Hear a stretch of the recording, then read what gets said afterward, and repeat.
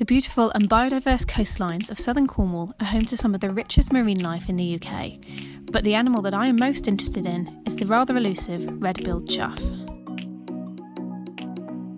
I'm Krissy Middleton, and over the next few months I will be here on the Cornish coast studying the chough as part of my master's degree with the University of Exeter. And I want to bring you along with me to try and show you what life as a conservation student in the field is really like.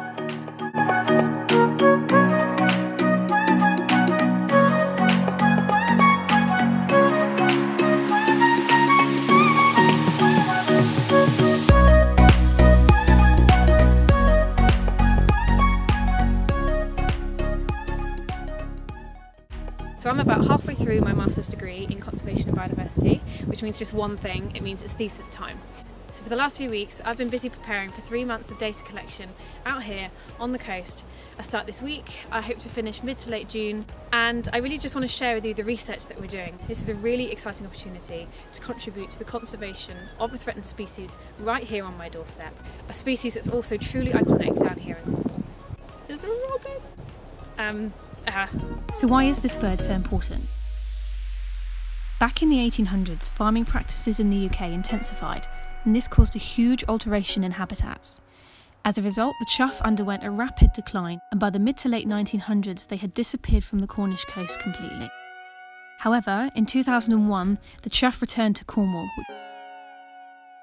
since then, the population has been growing across Cornwall with the help of the Cornwall Chough Project and agri environment schemes run by the RSPB and the National Trust.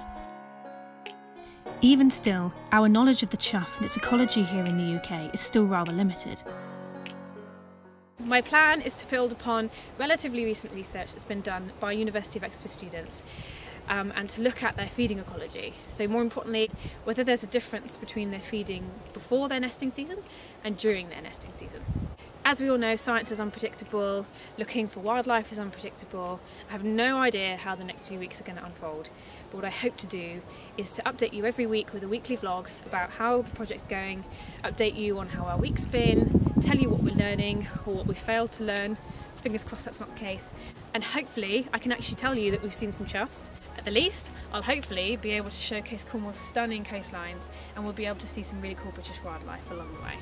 So until then, I'll speak to you soon thanks for listening.